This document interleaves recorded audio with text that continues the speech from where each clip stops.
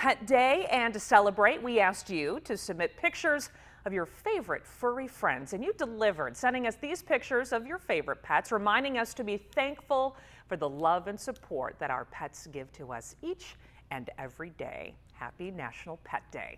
Coming up